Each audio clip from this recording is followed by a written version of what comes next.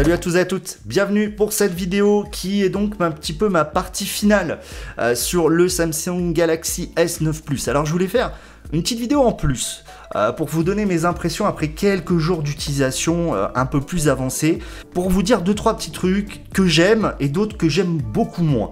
Première chose que j'aime, c'est déjà la qualité globale du produit et allez, je vais être honnête, cet écran c'est c'est somptueux. Il prend une face, il prend une surface à l'avant incroyable. Il est très, en fait, ce que j'aime beaucoup, c'est cette fluidité finalement dans le design qui est vraiment très agréable à l'œil. Cette courbe aussi, mais qui en même temps est un gros défaut, parce que quand je l'ai en main, eh bien comme je l'ai déjà dit, ma paume vient se mettre ici. Et ça c'est vraiment dommage. Euh, je trouve que c'est un gros point négatif pour moi, c'est-à-dire quand je vais venir chercher ici, bah, ma, main vient, vient chercher. Voilà, ça c'est... Bon, c'est un téléphone dont on va servir à deux mains. Autre petite chose que j'ai déjà précisé qui m'embête un petit peu, c'est ce scanner d'empreinte que bizarrement je trouve pas super bien placé. Voilà, c'est pas grand chose. Alors est-ce que ça vient de la forme du capteur d'empreinte? Je ne sais pas, mais je le trouve pas très très bien placé. Ensuite, d'un point de vue euh, purement hardware, j'ai pas de gros défauts. Alors, comme je l'avais noté pour le Note 8, même si mon test n'est pas encore sorti, euh, rien n'est aligné sur la tranche du bas. Voilà, rien n'est aligné.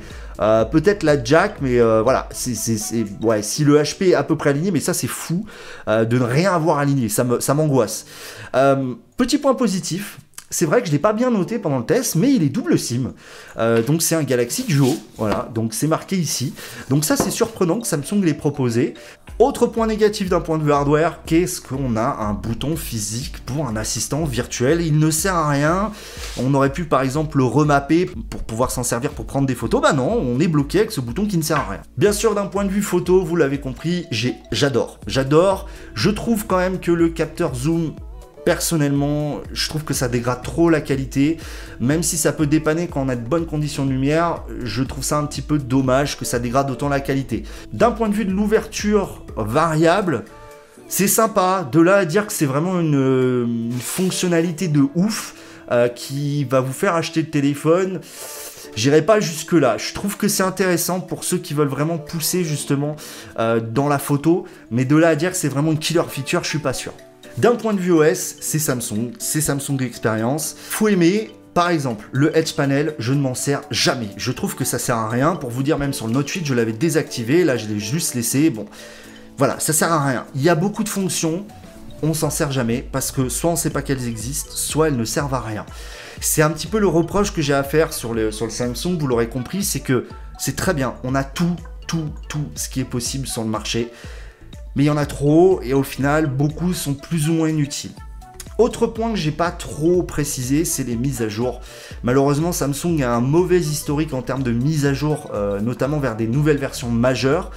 Et c'est encore le cas, c'est vrai qu'on est euh, déjà plus de mi-avril et malheureusement il n'y a toujours pas le patch de sécurité d'avril. C'est quelque chose qui pour moi est important, pour certains moins. Mais là où surtout j'aimerais bien que Samsung pousse une mise à jour, c'est pour l'autonomie. Alors franchement l'autonomie c'est une vraie calamité. Euh, c'est incroyable. C'est incroyable d'avoir une autonomie aussi catastrophique sur un téléphone comme ça. Euh, je trouve ça vraiment dommage, surtout sans vraiment le pousser, sans vraiment le pousser dans ses retranchements. Donc au final, pour donner une note à ce Samsung, ce que je fais rarement, je lui donnerais quand même un 8 sur 10. Pourquoi pas 9 pourquoi pas 10 Parce que 10, c'est le smartphone que vous avez choisi. Moi, voilà, on, le dit souvent, beaucoup de personnes le disent et je, les rejoins. Euh, je pense que le meilleur smartphone pour vous, c'est celui que vous avez dans votre poche. Pourquoi je lui mets pas 9 parce que je trouve que c'est inacceptable sur un téléphone de ce prix-là, rappelons-le, plus de 900 euros quand même, de ne pas avoir une autonomie décente. Aujourd'hui, on est sur des produits qui sont premium, il faut une vraie autonomie, et ce n'est pas le cas sur ce S9 Plus. 8, parce que je pense que c'est un bon compromis, il fait tout le reste excessivement bien. On a toutes les fonctions qu'on peut attendre dans un smartphone de 2018. Mais voilà, il est grévé par ça. Donc mon avis c'est 8 sur 10, je pense que c'est mérité. Euh, c'est un des meilleurs smartphones de l'année. La batterie peut être corrigée avec une mise à jour software. Personnellement, j'adore vraiment la prise en main. J'aurais bien aimé tester euh, le petit frère, le S9, que peut-être je trouverais plus intéressant en termes de prise en main, plus accessible aux communs des mortels. Néanmoins, j'ai vraiment apprécié utiliser ce Samsung S9 Plus. Je remercie encore Soch et Samsung de m'avoir permis de participer au programme Tester Soch et de vous proposer un retour. Euh, j'aimerais bien pouvoir le garder encore un petit peu pour pouvoir euh, justement pousser plus loin mes tests, mais je pense que ce sera pas possible. Voilà, c'est tout pour cette vidéo, ce petit récap. C'était Vito, Tech Check les amis.